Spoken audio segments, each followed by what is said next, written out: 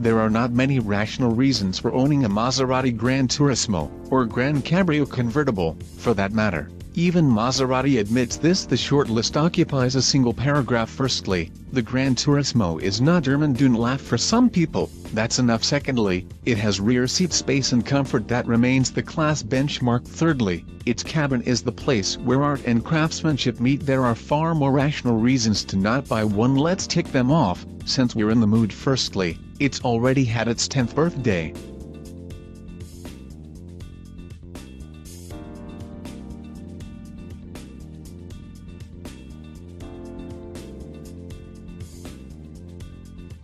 It's not Jeepers fast by today's standards and neither is it remotely frugal it drives the back wheels through a 6-speed transmission, so it has 50% fewer gear ratios than AMG also. The only thing light about it is the weight of its driver assistance systems the 4.7-liter GranTurismo and its roofless GranCabrio sibling prospered in the plus-minus ledgers early in their careers, but they now operate outside them. In the sketchbooks of translated emotion the Pininfarina design body is still stunning, a decade on, from any angle.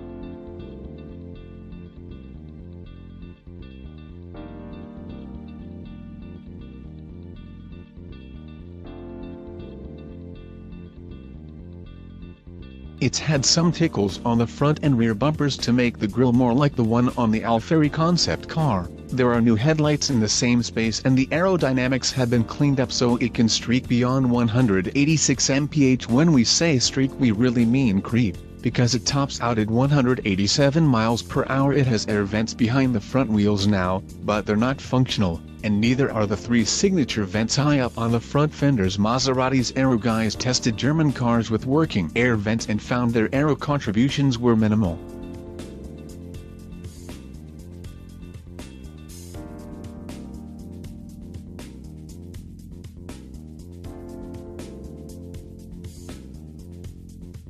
The air inlet on the MCs is, though, and so are the twin hot air outlets that give the carbon fiber hood its exaggerated contours. The big news from the powertrain department is that it's been busy eliminating stuff, rather than doing new things it simplified its life by killing off the entry-level 4.2-liter V8, so the only engine in the entire range now is the Ferrari-built 4.7-liter, 90-degree V8 don't think of bolting in the torque-rich twin-turbo V6 motor from the Ghibli.